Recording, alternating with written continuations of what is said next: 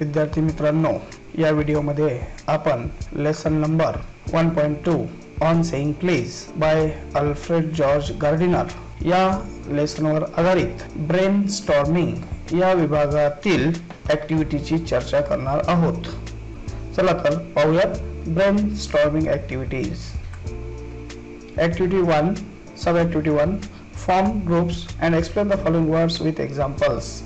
You can take help of your teacher. शिक्षकांच्या मदतीने group तयार करून पुढील शब्दांना स्पष्ट करून किंवा अर्थ सांगून उदाहरणं द्या. शब्द आहेत humility self esteem gratitude courtesy generosity sympathy empathy A humility means modesty example she needs the humility to accept that there way may be better B self esteem means self respect example he got self esteem earning sufficient money. C gratitude the quality of being grateful. Example students expressed their gratitude to the teachers on teachers day. D आहे courtesy means the showing of politeness in one's attitude and behavior towards others. Example is the manager treated the players with courtesy and good humor. E. Generosity it means the quality of being kind and generous. Example is I was overwhelmed by the generosity of friends and neighbors. F. Sympathy the it means the feelings of pity and sorrow for someone else's misfortune. For example, they had great sympathy for the flood victims. G. Empathy. It means the ability to understand and share the feelings of another. Example, he had empathy with small children. In activity 1, sub-activity 2nd, have a group discussion on topic the need of soft skills at work place use the following points इथे need of soft skill at work place या टायटलवर किंवा विषयावर आपल्याला पुढील मुद्द्यांच्या सहाय्याने चर्चा करायची आहे. A written and verbal communication B ways of interacting with others C creative abilities D emotional intelligence इथे सॉफ्ट स्किलची आपण ज्या ठिकाणी काम करतो त्या ठिकाणी काय आवश्यकता आहे? हे आपल्याला लक्षात घ्यायचं आहे यामध्ये रिटन अँड व्हर्बल कम्युनिकेशन फार महत्वाचं असते. कारण आपण ज्या ठिकाणी वर्क करतो त्या ठिकाणी आपल्याला बरेचसे अर्ज विनंती पत्र व्यावहारिक पत्र व्यावसायिक पत्र हे लिहायचे असतात. त्यामध्ये आपल्याला सॉफ्ट स्किलचा उपयोग चांगल्या प्रकारे करता येतो. तसेच व्हर्बल कम्युनिकेशन ज्याला औपचारिक संभाषण म्हणतो आपण जे रिटर्न असतं तसेच आपली भाषा ही एक व्यावहारिक आणि व्यावसायिक भाषा असली पाहिजे. त्यानंतर आहे B ways of interacting with others इतरांशी जेव्हा आपण बोलतो त्या बोलण्याचे जे काही मार्ग आहेत वेगवेगळ्या पद्धतीने पोलाइटली आहे जनरसली आहे लँग्वेज आपली नम्र असली पाहिजे योग्य त्या ठिकाणी आभार प्रदर्शनपूर्वक शब्दांचा वापर केला पाहिजे थँक्यू व्हेरी मच सारखे. त्यामध्ये एक समोरच्याला आपल्या बोलण्यामधून एक आत्मीयता निर्माण झाली पाहिजे.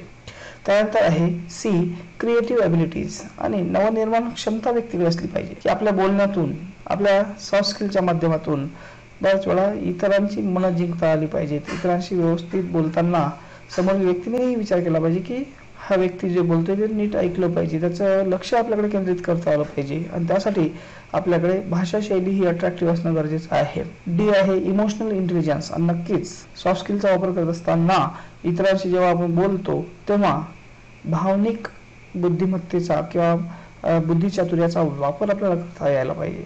भावनिकदृष्ट्या आपण लँग्वेजच्या माध्यमातून एकमेकांना जोडू शकतो. एकमेकांशी आपले मन जोडू शकतो. अशा प्रकारे ह्या चारही मुद्द्यांचा आपल्याला यथोचितरित्या उपयोग सॉफ्ट स्किलच्या माध्यमातून जिथे आपण वर्क करत असाल त्या ठिकाणी आपल्याला करता येतो. याबद्दल आपल्याला आणखीनही चर्चा करता येऊ शकते परंतु व्हिडिओ मोठा होत असल्यामुळे आपण यावर इथे जास्त बोलणार नाही. Need of soft skill at work place या टॉपिकला अनुसरून नेटवर बरीचशी माहिती अभ्यासू शकता. पुढची ऍक्टिव्हिटी आपण पाहणार आहोत. Activity second sub activity one read the text and state whether the following statements are true or false correct the false statements इथे आपल्याला धडा वाचल्यानंतर खाली जे वाक्य दिलेली आहेत ते सत्य की असत्य चूक की बरोबर ज्याला आपण म्हणतोय. ते सांगायचे आहे तसेच फॉल्स स्टेटमेंट जिथे असेल चूक विधान जिथे असेल त्या विधानाला करेक्ट करून सांगायचं आहे. इथे एकूण पाच विधाने दिली आहेत. तर या पाचही विधानांना आपल्याला वन बाय वन पाहायचं आहे. बघा. A bitter problems in day to day life can be solved by sweet words नक्कीच दैनंदिन जीवनातल्या समस्या आपण चांगल्या बोलण्यातून सॉल्व्ह करू शकतो. हे विधान सत्य आहे. म्हणून ट्रू त्यानंतर be great wars could be could have been avoided by a little courtesy. हे विधान देखील सत्य आहे. त्यानंतर observance of etiquettes in a normal situation is important but more important is their observance when the situation is adverse हे विधान सुद्धा true आहे म्हणजे सत्य आहे. त्यानंतर डी आता शेवटचे दोन विधान जे आहेत ते चूक आहेत. तर त्याला आपल्याला करेक्ट सुद्धा करायचे आहेत. बघा words like please and thank help us in making our passage through life uneasy तर हे फॉल्स स्टेटमेंट आहे तर मग याचं करेक्ट स्टेटमेंट कसं होईल So words like please and thank you help us in making our passage through life easy. त्यानंतर आहे E. The law permits anybody to use violence if another person is discourteous. हे देखील विधान false आहे म्हणजे चुकीचं आहे. तर करेक्ट सेंटेन्स कसं होईल?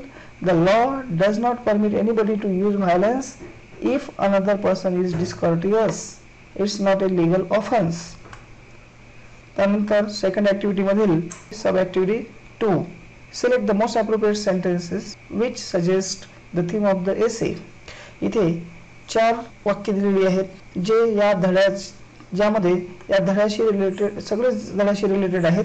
परंतु अधिक योग्य असे दोन सेंटेन्स आपल्याला येथील निवडायचे आहेत जे या धड्याची कंप्लीट थीम सांगतात. बघा पहिले दिले आहे the essay tells about courtesy civility morality responsibility and control B दिलेला आहे the essay explores the difficulties that can be occurred by an individual one dealing with the public C दिलेलं आहे one can keep one's peace of mind without having a lower them themselves. To the level of the perceived offender आणि D दिलेलं आहे people with low low self esteem are generally difficult to work with and they look down upon others to get a feeling of superiority तर यामधील दोन वाक्य आपल्याला निवडायचे आहे जे आपण इथे खाली निवडलेले आहे ए आणि सी जे अचूक थीम सांगतात वाक्याचा अर्थ नीट समजून घ्यायचा आणि पॅरेग्राफमध्ये काय मुख्य भाव मांडलेला आहे हे लक्षात घ्यायचं आणि त्याला अनुसरून वाक्य निवडायची असतात. म्हणून या धड्याची जी थीम सांगितली आहे ती आपल्याला इथे लक्षात घेता येते. बघा ए आहे the A sector ऑस about courtesy civility morality responsibility and control हा प्रश्न महत्त्वाचा आहे कारण पॅरेग्राफवर आधारित परीक्षेत अशा प्रकारचे प्रश्न शंभर टक्के विचारले जातात. म्हणून ते नीट समजून घ्यायचं आहे. त्यानंतर सी आहे one can keep one's peace of mind without having low to lower themselves to the level of the perceived offender अशा प्रकारे हे दोन पॉईंट्स इथे आपल्याला या लेसनची थीम दर्शवितात. त्यानंतर आहे सब ॲक्टिव्हिटी थ्री मधील A. Find the reasons for the liftman's uncivilised behaviour लिफ्टमॅनचं जे अनसिव्हिलाइज बिहेवियर होतं त्याची कारणं काय? तर इथे कारण दिलेलं आहे बघा. The answer the passenger's discourteous behaviour की पॅसेंजर हा थोडासा असभ्यपणाने त्यांना वर्तणूक केली. त्यामुळे लिफ्टमॅन तर बिहेवियर लिफ्टमॅनचं होतं. त्यानंतर सेकंड रिझन आहे wound to his self respect or vanity तिथे लिफ्टमॅनच्या स्वाभिमानाला कुठेतरी ठेच लागलेली होती किंवा दुखावला गेलेला होता स्वाभिमान दुखावला गेलेला होता. Slur upon means insult of his social standing तसेच या लिफ्टमॅनचं जे काही सामाजिक प्रतिष्ठा आहे त्याचा जणू काही अपमानच होता. आणि म्हणून इथे लिफ्टमॅन त्या व्यक्तीशी थोडासा अनसिव्हिलाइज बिहेव करतोय. त्यानंतर B list the people and their behaviour that made the passenger rude and ill mannered की पॅसेंजरला रोड आणि इल मॅनर्ड बनवण्यासाठी लोकांची लिस्ट म्हणजे यादी करा आणि त्यांचं बिहेवियर सुद्धा सांगायचं आहे. तर इथे हाऊसमेड वाईफ हे दोन दिलेले आहेत. त्यानंतर रिकाम जागा आहे. तिथे आपण कुक लिहिलेलं आहे. त्यानंतर पॅसेंजर लिहिलेलं आहे नंतर लिफ्टमॅन दिलेलं आहे आणि एम्प्लॉय शेवटी दिलेलं आहे. तर यांचे आता हे लोक आपण निवडलेले जे लेसनमध्ये आलेले आहेत पण यांचं बिहेवियर कसं आहे हे आपल्याला पुढे पाहायचं आहे. आन्सर पीपल इथे पीपल दिलेलं आहे एका साईडला आणि दुसऱ्या बाजूला त्यांचं बिहेवियर सांगितलेलं आहे. बघा हाऊसमेड हाऊसमेड कशी वागते? तर answer back to the cook उलट उत्तर दिलेलं असते. कोक कसा वागतो मग? Very rude to the passenger's wife तो पॅसेंजरच्या वाईफ सोबत कुक मात्र अधिक उदरपणाने लागते. मग पॅसेंजरची पत्नी wife employer is henpecked by his wife at breakfast नाश्त्याच्या वेळेला एम्प्लॉयरचे पत्नी त्याच्याशी थोडीशी वाईट वागलेली असेल. त्यानंतर चौथा आहे employer did not say good morning to passenger त्या पॅसेंजरला जाऊन काही त्याने गुड मॉर्निंग म्हटलं नसेल एम्प्लॉयरने आणि लिफ्टमॅन आणि म्हणून लिफ्टमॅनची अपेक्षा काय होती? एक्सपेक्टेड टू से प्लीज त्याने प्लीज म्हणावं प्लीज स्टॉप असं म्हणावं. परंतु तो फक्त टॉप म्हणतो. त्यानंतर पॅसेंजर पॅसेंजर का कसा वागतो? तर rude and ill manner towards the liftman लिफ्टमॅनशी तो तसा उदरपणाने आणि असभ्यतेने वागतो. नंतर चौथी सब ॲक्टिव्हिटी आहे good manners are required in our daily life for making our social contacts more cooperative and friendly नक्कीच. आपले सामाजिक संबंध टिकवण्याकरता दैनंदिन जीवनामध्ये गुड मॅनर्स अत्यंत महत्त्वाचे आहे. Illustrate the behaviour of the polite conductor with different people in various situation आणि आपल्याला इथे जो सभ्य नम्र असा तो कंडक्टर आहे जो इतर लोकांशी अनेक लोकांशी वेगवेगळ्या सिच्युएशनमध्ये अत्यंत सभ्यतेने वागतो तर त्याबद्दल त्या व्यक्तीच्या बिहेवियरबद्दल आपल्याला इथे सांगायचं आहे की तो कशा कशा सिच्युएशनमध्ये कसा कसा बिहेव करतोय. बघा इथे सिच्युएशन दिलेली आहे आपल्याला एकूण सहा. त्यातील फर्स्ट सोडून दिलेली आहे आणि बिहेवियर साठी एक कॉलम दिला आहे तर त्यात आपल्याला कॉलममध्ये या कंडक्टरचं वेगवेगळ्या सिच्युएशनमध्ये कसं बिहेवियर आहे हे तिथे सांगायचं आहे. बघा पहिलं सोडून दिलेलं आहे.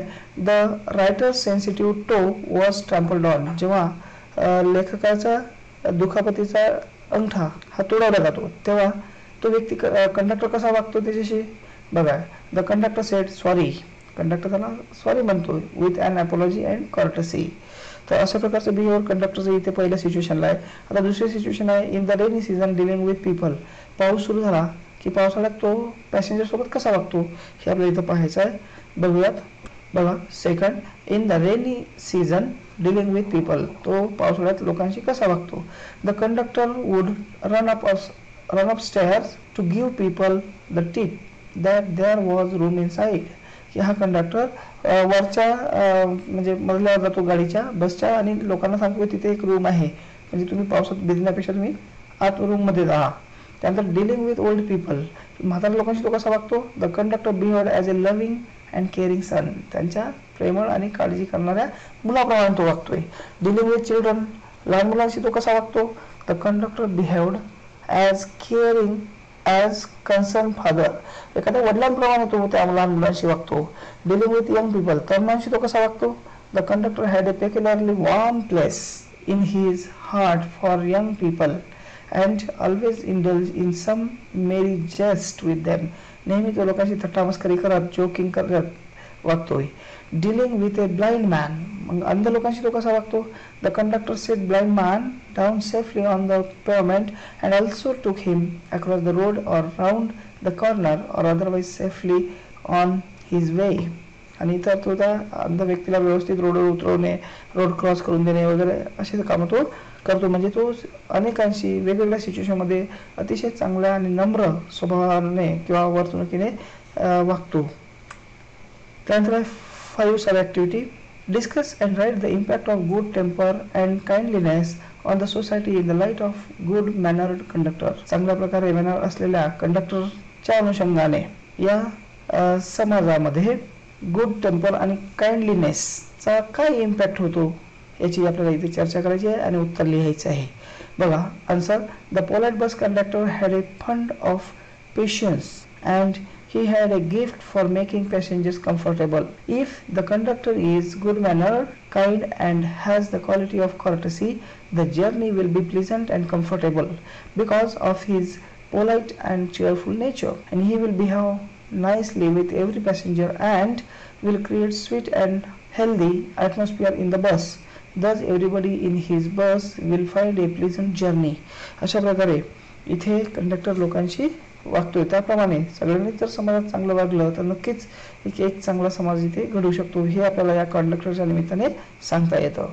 त्यानंतर नेक्स्ट ॲक्टिव्हिटी आहे सब ऍक्टिव्हिटी आहे seven the of of the is is necessary for the of of law in society. Society आपल्या समाजात uh, कायद्याची अंमलबजावणी करता पोलिसांची सेवा ही फार महत्वाची आहे. Do you think you require this service for good social environment discuss तुम्हाला असं वाटतं का की चांगल्या प्रकारे सामाजिक वातावरण निर्माण करण्याकरिता ह्या पोलिसांच्या सेवेची आपल्याला गरज आहे?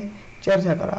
तर आपण आन्सर पाहूयात yes I agree that the service of the police is necessary for the implementation of law in our society I think म्हणजे मला हे मान्य आहे तर मग काय मान्य आहे त्याच्यावर आपल्याला काही मुद्दे द्यायचे आहे I think that this service is required for good social environment as follows police typically are responsible for maintaining uh, public order and safety to enforce the law and to make people public or society aware of it To prevent criminal activities for good social environment to detect investigate criminal activities and make the environment healthy to bring discipline to the society police participate in different social activities and create awareness about law अशा प्रकारचे काही मुद्दे आपल्याला सांगता येईल की ज्या माध्यमातून पोलिसांची सेवा ही चांगल्या प्रकारचं सामाजिक वातावरण निर्मितीसाठी आवश्यक आहे त्यानंतर activity number third sub activity one he committed the crime in broad daylight not bright daylight or narrow darkness अशा प्रकारचा एक सेंटेन्स आहे. याचा विशिष्ट शब्दांचा वापर करण्यामागचा हेतू आपल्याला सांगायचा आहे ब्रॉड डेलाईट असे शब्द वापरले आहे त्याच्याऐवजी नॉट ब्राईट लाइट डेलाईट किंवा नॅरो डार्कनेस असं त्यांनी वापरलं नाही. त्याची कारण काय किंवा तशा प्रकारचा चेंज काय झाला हे आपल्याला लक्षात घ्यायचं आहे. I had a cup of strong tea not rich tea The fast train is coming, not quick train. Such words or group of words which habitually occur together and hereby convey meaning by association are called collocation. अशा प्रकारच्या शब्दांचा वापर म्हणजे काय collocations इथे strong tea त्यानंतर fast train त्यानंतर broad day light हे काय झालेत कलोकेशन झाले आता कलोकेशन म्हणजे काय a collocation is a combination of words in a language that often go together शब्दांचा असं कॉम्बिनेशन कॉम्बिनेशन की जे काय एकत्रितपणे वाक्यात वापरलं जातं. तर याच्यातील ए सब आपण पाहतोय. Find out the words in column B with collocate with the words in column A तर कॉलम ए मधील शब्दांशी कलोकेट होणारे शब्द बी मधून आपल्याला शोधायचे आहे आणि त्यापासून शब्द तयार करायचे आहे. बघा इथे रेग्युलर शब्द आहे. तर रेग्युलर एक्झरसाइज असे आपण शब्द वापरू शकतो. मिड डे आहे तर इथे आपण मिड डे मील असे शब्द वापरू शकतो. तर हे आपल्याला इथे लक्षात घ्यायचं आहे. बघा रेग्युलर एक्झरसाइज रेग्युलर आणि एक्झरसाइज हे दोन शब्द झाले याला कलोकेशन म्हणतो आपण. त्यानंतर मिड डे मील तसंच की concept fast food try hard richly decorated free time traffic jam social justice आणि वाईल्ड ॲनिमल अशा प्रकारे इथे शब्दांचे कलोकेशन आपण पाहिलेत म्हणजे तयार करता आलेत. त्यानंतर आहेत B learning collocation is essential for making your English sound fluent and natural नक्कीच आपल्या इंग्लिश लँग्वेजचे बोलत असतानाचे आपले जे प्रोनाऊन्शिएशन आहे अत्यंत फ्लुएंटरित्या आपल्याला कलोकेशनचा वापर करणं अत्यंत आवश्यक असतं. Make collocations and use in your own sentence इथे मेन शब्द मुख्य शब्द दिलेले आहेत बिग आणि वेल दोन वेगवेगळ्या डायग्राम आहेत. तर बिगचा वापर करून इतर शब्द वापरून आपल्याला कलोकेशन तयार करायचे आहे. तसेच वेलचा वापर करून इकडेही सुद्धा कलोकेशन तयार करायचे आहे. जसं बिग मिस्टेक बिग सरप्राईज तसंच वेल ड्रेस आणि या शब्दांचा वापर आपल्याला इथे एकदा कलोकेशन तयार झाल्यानंतर त्याचा वाक्यात उपयोग करायचा आहे आपल्या स्वतःच्या. बघा बिग आहे big mistake big surprise big challenge big deal big big news big shock big success big brand असे शब्द तयार झाले. कलोकेशन्स इकडे तसंच well dress well qualified well done well worked well taken well cook well dress well effected असे collocations तयार करता येतात. आता यांचा उपयोग आपण वाक्यात करणार आहोत. बघा. Use of collocations in our old words तर पहिले लेफ्ट साईडचे बघू. नंतर आपण राईट साईडचे असे सगळे इथे आपण घेतोय. बघा. पहिलं दिलं आहे it was big mistake to go हो गो देअर तिथे जाणे हे एक मोठी चूक होती. बिग मिस्टेक अशा प्रकारे लोकेशनचा यूज इथे केलेला आहे.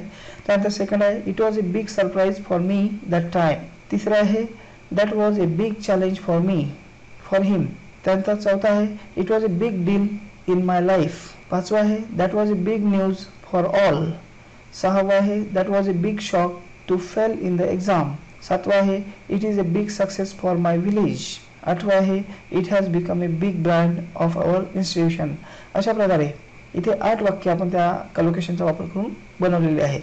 तसंच इथे आणखीन दुसऱ्या डायग्राम मधले आपल्याला आठ वाक्य पाहायचे आहे. परंतु इथे सात वाक्य होतात. आणि एक आपलं तिथे रिपीट झालेलं आहे वेल ड्रेस म्हणून आपण एकच वेळा ते पाहणार आहोत. बघा there was a well dress man who help me त्यानंतर दुसरं आहे I am well qualified for that job त्यानंतर तिसरं आहे well done job my son well done job my son त्यानंतर चौथा आहे it is a well worked model of our continuous efforts त्यानंतर पाचवा आहे the advice given by our teachers be well taken त्यानंतर सहावा आहे the meal was well well cooked by her आणि सातवा आहे it was well affected impression on others त्यानंतर सेकंड सब ॲक्टिव्हिटी आहे sometimes while using a word in a sentence we have to change its word class कधी कधी एखाद्या शब्दाचा वापर करत असताना आपल्याला वाक्यात त्या शब्दाची जात बदलावी लागते क्लास बदलावा लागतो. तर हे आपल्या इथे कसा चेंज होतो हे लक्षात घ्यायचं आहे. बघा we can make several more words from the root words की काही रूट वर्ड्सवरून आपल्याला अनेक प्रकारचे शब्द आणि त्याच्या जाती बनवता येतात. जसं याला आपण म्हणतोय शब्दांच्या जाती. हां we can make several new words from the root words एका मूळ शब्दापासून अनेक नवीन वर्ड्स आपण तयार करू शकतो. बघा तर इथे जसं बघा एक साधा शब्द आहे उदाहरणासाठी तुम्हाला सांगतोय ॲक्ट ॲक्टचं आपण ॲक्शन ॲक्टिव्ह ॲक्टिवली ॲक्टिंग असे अनेक शब्द तयार करू शकतो. तर आपल्याला इथे अशाच प्रकारे वेगळ्या शब्दाचा वापर वेगळ्या पद्धतीने करायचा आहे. ज्यावेळेला आपण म्हणतोय की पार्ट ऑफ स्पीच बदलून त्या शब्दाची जात बदलून आपल्याला वाक्य तयार करायचं असतं. ज्याला जनरली तुम्हाला नाऊन वर्ब ॲडजेक्टिव्ह आणि ॲडव्हर्ब ह्या चारमध्ये जनरली आपल्याला ते बदल करता येतात किंवा करावे लागतात. बघा पहिलं एक्झाम्पल दिलेलं आपल्यासाठी सोडून. आय आस सुमित टू रिकम जागा माय पेन्सिल फॉर मी आणि इथे शार्प शब्द दिला आहे. या शार्पचा वापर आपल्याला इथे करायचा आहे. बघा I ask Sumit to sharpen my pencil for me अशा प्रकारे त्याचा यूज करता येतो. Now read the following sentences and use the words given in the bracket खाली वाक्य वाचायचे आहे आणि आपल्याला शब्दांचा वापर करायचा. आहे इथे ऑलरेडी मी करून दिलेला आहे चौकटीमध्ये. इथे चौकटी रिकाम आहेत ऑलरेडी परंतु आपण इथे त्याचा यूज केलेला आहे. Change the word class and rewrite the sentences आणि त्या शब्दाची जात बदलून आपल्याला ते वाक्य कंप्लीट करायचे आहेत. किंवा पुन्हा लिहायचे आहे बघा पहिलं वाक्य दिलं आहे. Leena was eating a very रिकामी जागा apple and obviously enjoying it इथे क्रंच आहे. तर क्रंचची जात बदलून आपण क्रंची असं त्याला बनवलेलं आहे. त्यानंतर बी आहे दिस पिक्चर लुक्स रिकामी जागा आणि कलरच्या ऐवजी कलरफुल असा शब्द आपल्याला इथे उपयोग करता येतो. म्हणजे कसं येईल वाक्य? दिस पिक्चर लुक्स कलरफुल त्यानंतर सी दिला आहे I am afraid that your behaviour is just not रिकामी जागा आणि ऍक्सेप्ट शब्द आहे त्या ऍक्सेप्टचं आपण काय केलं इथे? ऍक्सेप्टेड त्यानंतर आहे D I like my elder brother he is very रिकाम जागा आणि शब्द पुढे हेल्प हेल्पच्या ऐवजी हेल्पफुल असं आपल्याला ते कर तयार करता येतं आणि वाक्यात उपयोग करता येतो. त्यानंतर दिलं आहे complete the following table put a cross if a word class does not exist इथे काही शब्द दिलेले आहेत. आणि एकूण चार शब्द ज्याला दिले आहेत. नाऊन फॉर्म ॲडजेक्टिव्ह आणि ॲडव्हर्ब एक कुठली तरी जात इथे जातीदायकाला शब्द दिलेला असेल आणि त्याला इतर शब्दांमध्ये कन्वर्ट करायचं आहे.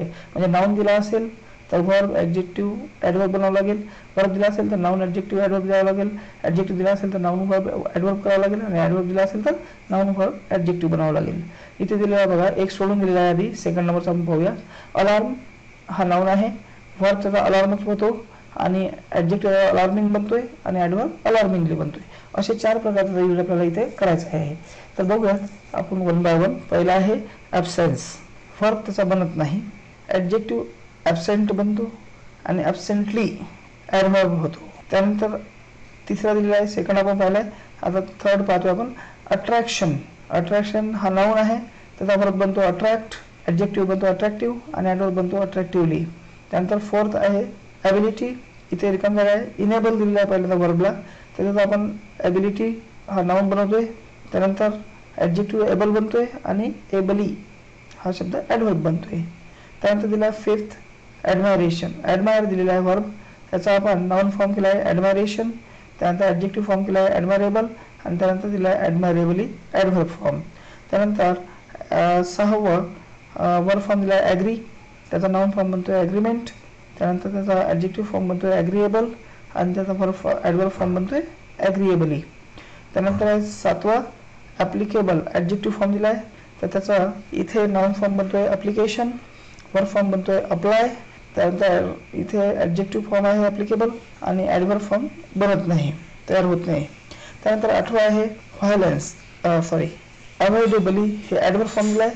तर याचा आपल्याला नाऊन वर्ब आणि ॲडजेक्टिव्ह बनवायचं आहे. बघा अवॉइडन्स हे नाऊन बनतोय अवॉइड हे वर्ब बनतोय आणि अवॉइडेबल हे adjective बनतोय.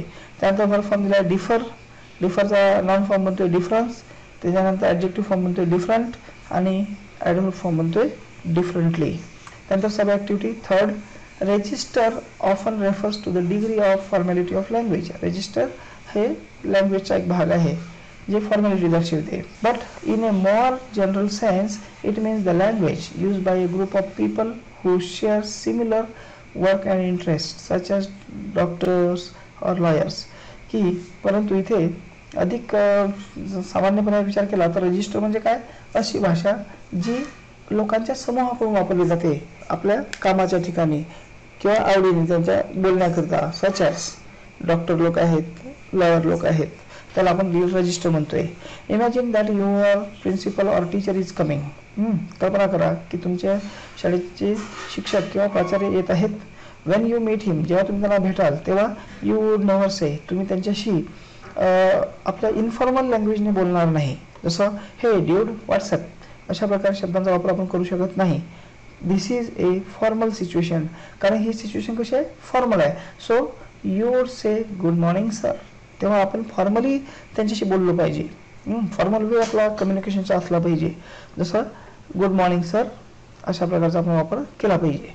In every situation you use an appropriate expression according to the person प्रत्येक परिस्थितीमध्ये व्यक्तीनुसार आपण योग्य ते एक्सप्रेशन आपण वापरले पाहिजेत. The language you use when you meet someone someone depends on their age एखाद्या व्यक्तीला तुम्ही भेटता तेव्हा त्या व्यक्तीचं एज पाहून आपली भाषा असली पाहिजे. पोझिशन त्या व्यक्तीची पोझिशन इत्यादी गोष्टी लक्षात आपण घेतल्या पाहिजे. There are formal and informal registers in spoken and written language की स्पीकिंग करताना बोलताना किंवा लिहिताना भाषेचे दोन प्रकार आहेत. एक फॉर्मल ज्याला औपचारिक म्हणतो आपण आणि एक इन्फॉर्मल म्हणजे अनौपचारिक. Write appropriate expression and words which you have to use while facing an interview मुलाखत देत असताना किंवा मुलाखतीला सामोरं जात असताना आपण फॉर्मल लँग्वेज वापरली पाहिजे आणि म्हणून ॲप्रोप्रिएट एक्सप्रेशन आणि वर्ड्सचा वापर इथे आपण केला पाहिजे जसं इथे उदाहरणासाठी दिलं आहे may I come in may I come in he formal language झाली परवानगी घेणे तसंच इथे आणखी चार आपल्याला लिहायचे आहे बी सी डी ई हे आपण लिहिणार आहोत. त्यानंतर आहे you are waiting writing a letter of complaint आणि तुम्हाला तक्रारपत्र लिहायचं आहे. List the proper expressions that you would like to write तर या पत्रामध्ये देखील आपल्याला प्रॉपर एक्सप्रेशन लिहायचे आहे जे फॉर्मल असतील. हां इथे शब्द आहेत इकडे एक्सप्रेशन्स आपल्याला यूज करायचं आहे. हां उदाहरणार्थ इथे जे एक दिलेलं आहे आय डिसॲग्री आपण एखाद्या गोष्टीशी ॲग्री नसाल तेव्हा आपल्याला अशा प्रकारचा यूज करता येतो. तर या दोन्हीमध्ये आपल्याला शब्द आणि एक्सप्रेशन लिहायचे आहे ते आपण पाहूयात. बघा पहिल्यामध्ये ए दिलेलं आहे मे आय कमेन त्यानंतर आपण बीमध्ये लिहू शकतो एक्सक्यूज मी हां सी आहे could you repeat the that please नंतर डी आहे आय एम सॉरी आणि ई आहे थँक्स सो मच किंवा थँक्यू सो मच अशा प्रकारे आपल्याला फॉर्मल लँग्वेज आणि त्याचे एक्सप्रेशन इथे यूज करता येऊ शकतात. त्यानंतर दुसऱ्या जर आपल्याला दे- दिलेला आहे बघा ए दिलेला आहे आय डिसॲग्री इथे आपण पुढचे अशा प्रकारे लिहू शकतो या complaint लेटरमध्ये I wish to draw your attention to एखाद्या गोष्टीकडे लक्ष केंद्रित करण्यासाठी. किंवा I would like to suggest that आणि आपल्याला काही सुचवावं वाटत असेल तर ते सांगू शकतो की एखादी ते प्रॉब्लेम सोडवण्यासाठीचे उपाय I wish to complain about किंवा आपल्याला तक्रार द्यायची असेल तर त्यात तक्रार कशी आहे ते सांगायची आहे. त्यानंतर ई आहे I am really dissatisfied with आणि आपण इथेही सांगू शकतो की एखाद्या गोष्टीला आपण सॅटिस्फाईड नाही आहे तर ते पण सुद्धा आपण यामध्ये तक्रारपत्रात मांडू शकतो. अशा प्रकारची वाक्यरचना आपली असली पाहिजे. त्यानंतर चौथी सब ॲक्टिव्हिटी आहे. Distinguish between a legal offence and a moral offence on the basis of the given text की धड्याच्या वर बेसवर आपल्याला लिगल कायदेशीर गुन्हा आणि नैतिक गुन्हे याची आपल्याला इथे लिस्ट करायची आहे किंवा फरक करायचा आहे. बघा लिगल ऑफन्स दिला आहे एकीकडे आणि दुसरीकडे मॉरल ऑफन्स दिला आहे तर लिगल म्हणजे कायदेशीर ज्याला कायद्यानुसार शिक्षा केली जाऊ शकते. पण मॉरल ऑफन्सला आपण कायद्यानुसार शिक्षा करू शकत नाही. मग लिगल ऑफन्स पहिल्यांदा आपण पाहूयात. बर्गलरी घरफोडी करणे. व्हायलन्स हिंसा ॲसल्ट हल्ला चढवणे फिजिकली शारीरिक हल्ला त्याला म्हणतो आपण. रिवेंज बदला घेणे. त्यानंतर किक एखाद्याला मारणे. तर हे झाला कायदेशीर गुन्हा. आता मोरल ऑफन्स पाहायचे आपल्याला रूड बिहेवियर उद्धटपणाने वागणे डिस्कॉटसी असभ्यतेने वागणे वल्गर माइंड अत्यंत नीच स्तराला खालच्या स्तराला येऊन विचार करणे त्याच्यानंतर अनफ्रेंडलीनेस किंवा डिस्क्रिमिनेट भेदाभेद करणे किंवा एखाद्याशी दृष्टपणाने वागणे इन्सल्ट एखाद्याला अपमान करणे किंवा इंटेलेक्च्युअल डॅमेज एखाद्याला बौद्धिकदृष्ट्या डॅमेज करण्याचा प्रयत्न करणे अशा प्रकारे मोरल ऑफन्समध्ये येतात. त्यानंतर पाचवी sub activity find out the meaning of the following phrases use them in your own sentences खाली काही फ्रेज दिलेले आहेत चार त्यांचे मिनिंग आपल्याला शोधायचे आहे आणि त्याचा वाक्यात उपयोग करायचा आहे बघा ए गिव्ह अँड टेक म्हणजे a free exchange of ideas or opinion याचं एक्झाम्पल कसं होईल in the ideal family there has to be some give and take त्यानंतर आहे B a black eye it means damage a mark of shame with honour याचं example आहे these slums are a black eye to our city किंवा आणखी दुसरं example आपल्याला सांगता येईल your behaviour will give the family to a black eye अशा प्रकारे आपल्याला त्याला मेन्शन करता येतं त्यानंतर सी दिलेलं आहे lower than the angels less than perfect it means less than perfect त्याचं एक्झाम्पल आहे some students are lower than the angel in mathematics त्याच्यानंतर डी दिलेलं आहे नॉक समन डाऊन त्याचं मिनिंग आहे to hit to push someone for example she was knock down by a car अशा प्रकारे शब्दांच्या इथे दिलेल्या फ्रेजेसचे अर्थ आणि त्यांचा वाक्यात उपयोग आपण पाहिलेला आहे. हे देखील महत्त्वाची ऍक्टिव्हिटी आहे. त्यानंतर सहावी सब ऍक्टिव्हिटी आहे find out the words with prefixes and suffixes from the text and write them down की प्रिफिक्स म्हणजे शब्दाच्या रूट वर्डच्या आधी जे काही अक्षर लागले असतील त्यापासून नवीन शब्द तयार होतो. असे शब्द आपल्या पॅराग्राफमध्ये शोधायचे आणि प्रिफिक्समध्ये लिहायचे. आहे प्रिफिक्स म्हणजे शब्दाच्या आधी अक्षरांचा वापर करून नवीन शब्द तयार झालेला असणे. त्यानंतर सफिक्स म्हणजे शब्दाच्या नंतर अक्षरांचा वापर करून नवीन शब्द तयार करणे. असे शब्द सुद्धा आपल्याला पॅराग्राफमधून शोधून लिहायचे आहेत. बघा प्रेफिक्स. प्रेफिक्स आहे अनसिव्हिल म्हणजे जे सिव्हिलच्या उलट आहे म्हणजे यू एन वाला इथे लागलेला आहे. असे शब्द आपल्याला इथे पाहता येईल. डिस्कॉर्टसी त्यानंतर इल मॅनर्ड त्यानंतर रिस्टॉरिंग अनफ्रेंडलीनेस हे शब्द झाले या लेसनमधले मधले निगडीत. आता सफिक्ससाठी requirement M E N T लागलेला याला रिक्वायरनंतर तर. रिक्वायर हा मूळ शब्द आहे. एम एन टी हे अक्षरांचा समूह त्याला जोडलेला आहे. याला आपण सफिक्स म्हणतोय. जसं punish punishable physical physically reasonable तर रिझन रिझनेबल असं होतं. त्यानंतर सेन्सिबल सेन्सिबिलिटीज असे शब्द आपल्याला इथे तयार करता येतात. त्यानंतर सातवी सब ॲक्टिव्हिटी आहे complete the table with polite expression that we must use in our day to day life आपल्या दैनंदिन जीवनात जे आपण वापरलेच पाहिजे असे काही नम्र असे वाक्य आपल्याला इथे लक्षात घ्यायचे किंवा त्याचा वापर करून हा टेबल कंप्लीट करायचा आहे. डोंट डस काय करायचं नाही आणि काय करायचं आहे. जसं इथे I want a cup of tea असं म्हणण्याऐवजी I would like to have a cup of tea असं आपल्याला इथे म्हणायचं आहे म्हणजे या वाक्याला अनुसरूनच योग्य असे पोलाईट एक्सप्रेशन इथं आपल्याला यूज करायचे आहे. सेकंड आहे सेंड मी द मेल याऐवजी please send me the mail असं आपण त्याला रिक्वेस्ट करू शकतो. त्यानंतर go away or leave me alone त्याऐवजी प्लीज लिव्ह मी अलोन किंवा प्लीज गो अवे असं आपण त्यांना सांगू शकतो. त्यानंतर यू आर रॉंग असा समोर आपल्याला समोर व्यक्तीला आपण एकदम म्हणू शकत नाही. अशा वेळेला आपण सांग सांगितलं पाहिजे की are you sure you are right तुला असं वाटतं की तू बरोबर आहे? म्हणजेच तू चूक आहे असं मला त्याला सांगायचं असते त्यानंतर दॅट्स ए बॅड आयडिया याऐवजी आपल्याला सांगायचं आहे की ही काही चांगली गोष्ट नाही आहे. म्हणजेच ती वाईट गोष्ट आहे. That is not a very good idea is it असं आपण इथे त्यांना सांगू शकतो. त्यानंतर your work is at good तुझं काम चांगलं नाही आहे. म्हणजे तुझं काम वाईट आहे असं आपल्याला सांगायचं असतं इथे दिलेलं आहे your work can do with some improvement जर तू असं केलं तर अधिक चांगलं होऊ शकतं. म्हणजेच ते चांगलं नाहीये आणि त्यात जर केलं तर आपल्याला त्याला चांगलं करता येऊ शकतं असं सुद्धा आपण इथे सांगू शकतो. त्यानंतर आहे ॲक्टिव्हिटी नंबर फोर विद्यार्थी मित्रांनो इथे व्हिडिओ मोठा होत असल्यामुळे आपण इथे थोडं थांबतोय.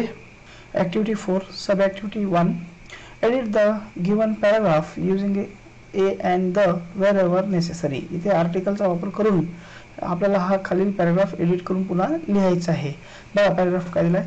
Rakesh is a an ideal son who remains devoted to his father as he grows professionally to become a the famous doctor as his father grows old he takes care to spend time with his father bringing bringing him tea in a the morning and taking him out for a the walk in and the evening अशा प्रकारे इथे जे ए आणि and तसेच the चा वापर योग्य त्या ठिकाणी दिला आहे. त्यातील योग्य ते आर्टिकल वापरून आपल्याला हा पॅराग्राफ पुन्हा लिहायचा आहे. बघा Rakesh is an ideal son who remains devoted to his father as he grows professionally to become a famous doctor as his father grows old he takes care to spend time with his father bringing him tea in the morning and taking him out for walk in the evening इथे and a the आणि अ अशा प्रकारे इथे चार आर्टिकलचा वापर आपण योग्य त्याप्रमाणे केलेला आहे. तुम्हाला आर्टिकलचा प्रश्न देखील ग्रामरमध्ये येत असतो आणि हमखास येणारा प्रश्न आहे. त्यामुळे आर्टिकल्सचा यूज तुम्हाला नीट करता आला पाहिजे. यासाठी तुम्ही ते त्याकडे नीट लक्ष दिलं पाहिजे. त्यानंतर सेकंड सब ॲक्टिव्हिटी आहे. Spot the error in each of the following sentences and correct the incorrect one इथे काही वाक्य दिलेली आहेत. यामध्ये थोड्या थोड्या मिस्टेक्स आहेत आणि ते आपल्याला करेक्ट करून लिहायचं आहे. कारण क्वेश्चन नंबर वन बी मध्ये चौथ्या क्रमांकाचं वाक्य हे या करेक्ट द एरर्स किंवा स्पॉट द एरर्ससाठी परीक्षेत येत असते आणि हे आपल्याला नीट सोडत आलं पाहिजे. आणि म्हणून इथे एकूण दहा वाक्य दिलेली आहेत आणि या दहा वाक्यातील मिस्टेक सुद्धा आपल्याला पाहायचे आहेत. आणि तसंच त्याला करेक्ट करून लिहायचं आहे. बघा पहिलं वाक्य दिलेलं आहे Radha brought pens and distributed them between her five children अशा प्रकारे इथे वाक्य दिलेलं आहे आणि यात बिटवीन जे आहे हे इथे चुकीचं आहे. ते एरर आपल्याला सापडले आहे त्याऐवजी आपल्याला अमॉंगचा वापर करून वाक्य करेक्ट लिहिता येतं. कारण बिटवीन म्हणजे दोन घटकांच्या किंवा दोन व्यक्तीच्या मधात इथे मात्र पाच चिल्ड्रन आहे आणि म्हणून अमॉंग असं आपल्याला इथे सांगता येतं.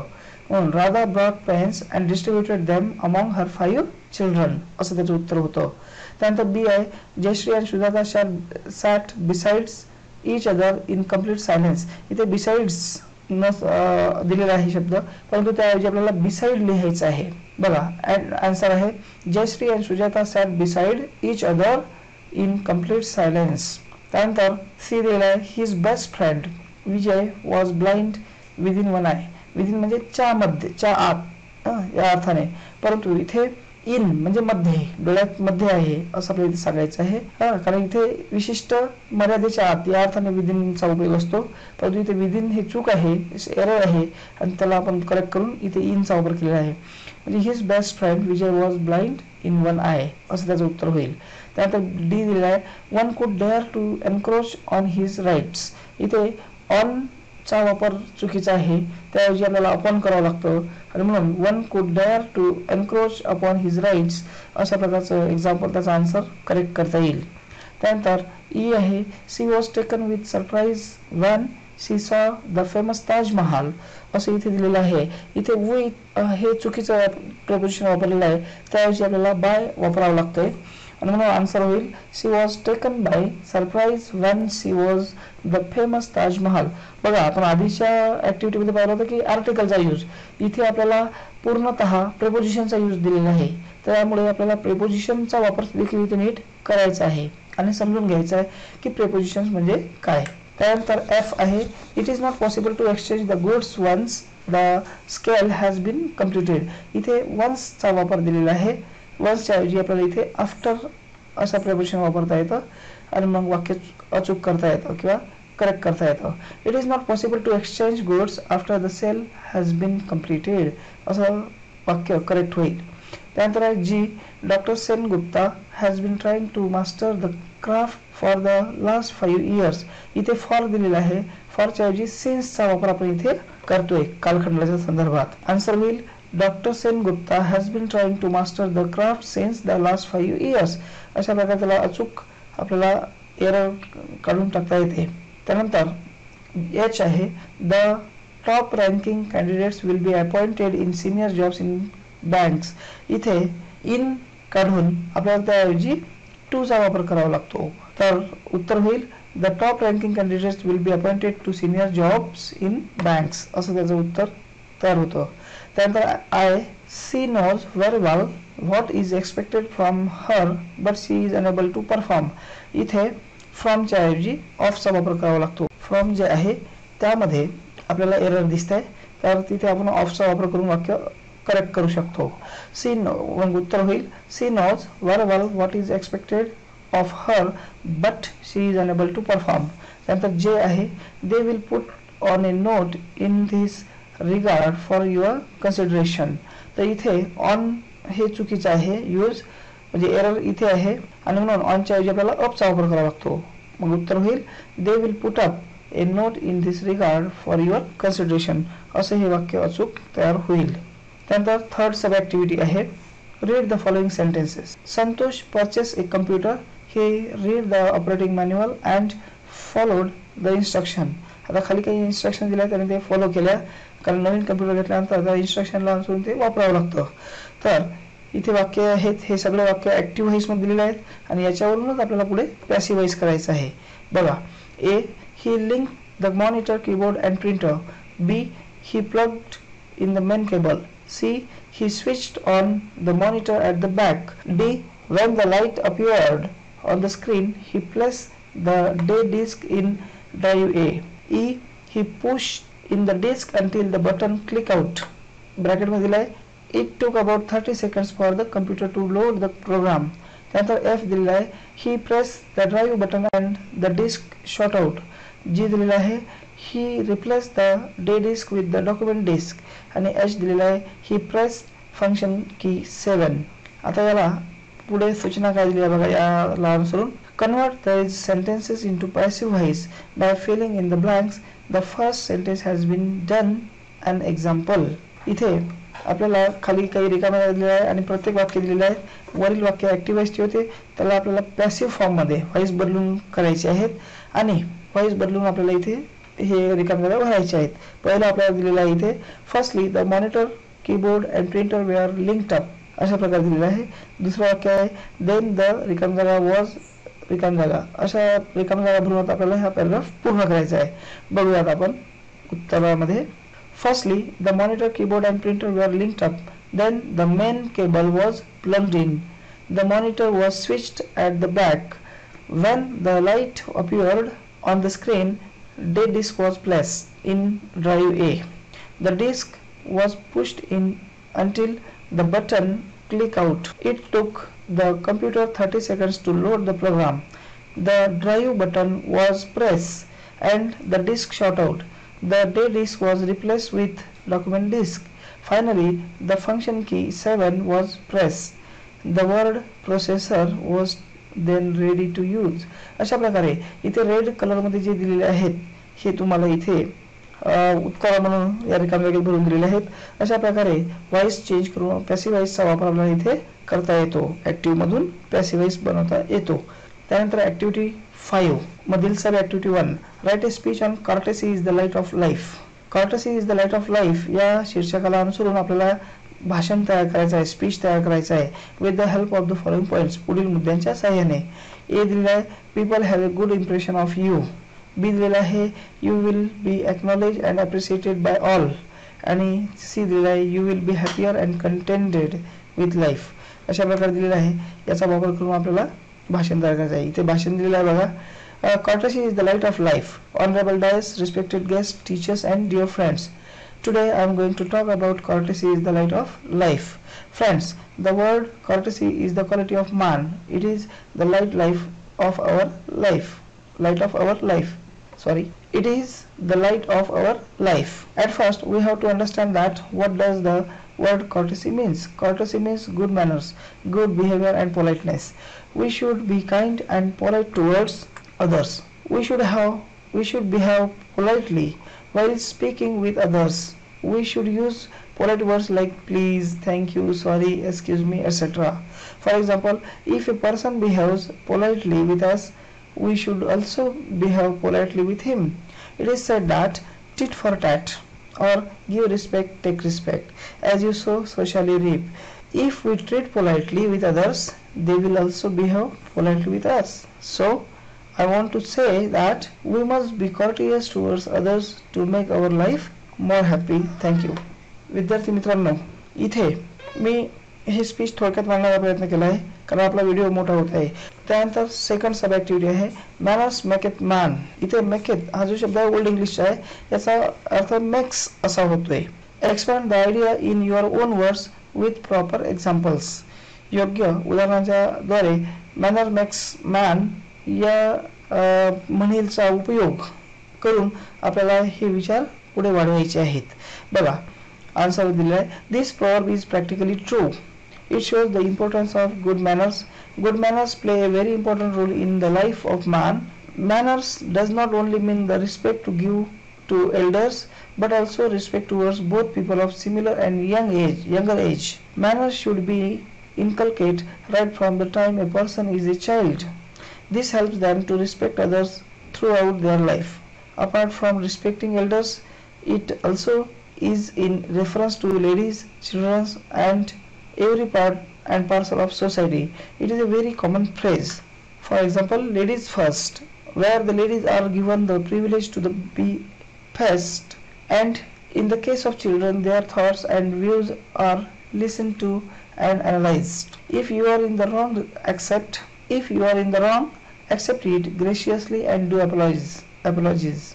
Don't criticize others work or ideas in public. Never make loud comments or use nasty expression while talking always be neatly and formally attired for the workplace such a professional etiquette will only help one become a successful individual in life and society. Being courteous to others will earn you respect and courtesy in return and shows that you have had a good upbringing. Manners help recognize an individual as a person of class earning one respect and awe of others in the society. Thus, the phrase manners make a man is apt in every sense. त्यानंतर विद्यार्थी मित्रांनो activity number six आहे दिलेली आहे. आणि सेवन दिलेली आहे. जे आपल्याला इथे उपक्रम म्हणून एक्सटेन्शनल ऍक्टिव्हिटी आहे जी तुम्ही स्वतः घरी तयार करायची किंवा अभ्यासायची आहे. बघूयात आपण काय काय दिले आहे यामध्ये. Activity six one Read A.G. Gardner's essay the open window and compare its theme with the essay on saying please तर आपल्याला ओपन विंडो हा एसे वाचायचा आहे आणि आपण जे लेसन स्टडी केलं आहे ऑन सिंग प्लीज या लेसनच्या थीम सोबत द ओपन विंडो या एसेची थीम इथे कंपेअर करायची आहे तुलना करायची आहे की त्यात काय दिलेलं आहे. हे तुम्हाला घरी करायचं आहे. नेटवर हा लेसन द ओपन विंडो हा एसे आहे ते तुम्ही वाचू शकता. त्यानंतर सेकंड दिला आहे nothing clears up my spirits like a fine day असं किड्स म्हणतोय. Collect the information of the poet Keats and write it in your notebook तर किडने जे इथे विचार मांडलेले आहेत हे आपल्याला इथे नेटवरून सर्च करून आपल्या नोटबुकमध्ये लिहायचे आहे इन्फॉर्मेशन स्टडी करायचे आहे आणि त्यामधून आपलं नॉलेज वाढवायचं आहे. त्यानंतर ऍक्टिव्हिटी नंबर सेवन यामध्ये एक दिलेलं आहे. Soft skills are required in all walks of life including careers and industries soft स्किलचा वापर जीवनाच्या प्रत्येक क्षेत्रात आपल्याला कामा पडते ज्यामध्ये करिअर आणि इंडस्ट्रीजचा देखील समावेश आहे. They are increasingly becoming the essential skills of today's work force आजच्या या कामामध्ये नक्कीच हे अत्यावश्यक बनत चाललेले आहेत. Soft skills are an integral part of finding attracting and retaining clients also. highly developed presentation skills, networking abilities, and etiquette awareness can help you win new clients and gain more work.